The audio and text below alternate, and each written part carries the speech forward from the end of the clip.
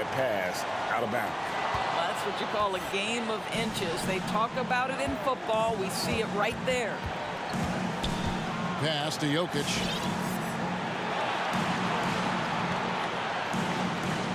Fifty-eight seconds left in the fourth quarter. It drops. Oh, you just love seeing a player